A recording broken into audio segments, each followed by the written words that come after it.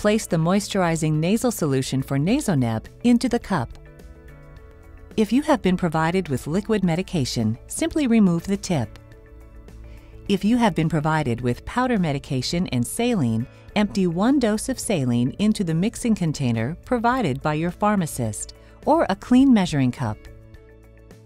Pull open the capsule and empty the contents into the saline. Swirl the mixture until it is uniform. In either case, empty half of the medication into the Nasoneb cup. Place the insert into the cup.